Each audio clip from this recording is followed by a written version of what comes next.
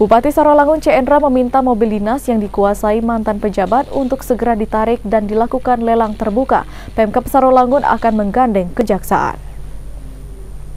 Banyaknya aset daerah yang dikuasai mantan pejabat dan mantan anggota DPRD Sarolangun menjadi temuan BPKRI dan sorotan Korsubgah KPKRI.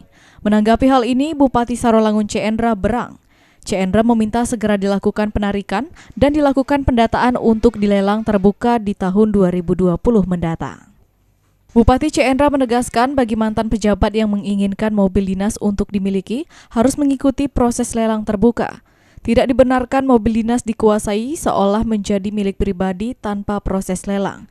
C. Endra akan menggandeng kejaksaan untuk melakukan penarikan kan kita mendukung apa yang disarankan oleh BPK memang tidak boleh. Aset ini harus punya mindset yang baru. Jangan sampai berpikiran para pejabat kita ini setiap mobil yang digunakan dia waktu dinas kalau pensiun untuk dia. Itu harus dihapus. Ke kemarin kita sudah lakukan itu ya bahwa mobil kendaraan yang kita pakai itu melalui lelang lelang lelang terbuka belum tentu kita yang dapat ini terbuka.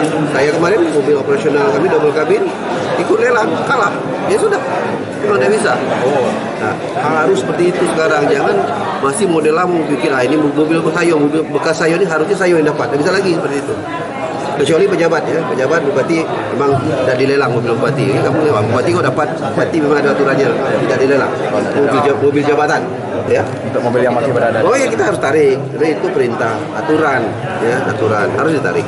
Semua ditarik. Nanti kalau dia pengen ikut lelang. Nanti dibuka lelang. Mungkin awal-awal tahun kita akan lelang lagi Berdasarkan data yang diperoleh, mobil dinas yang belum dikembalikan seperti milik Iskandar, mantan staf ahli bupati, Edi Warman, mantan anggota DPRD Sarolangun, Asna Wisani, mantan staf ahli bupati, Amrizal pensiunan ESDM, Fuad Zakir, dan Elmi, serta mantan ketua DPRD Sarolangun, M. Saihu.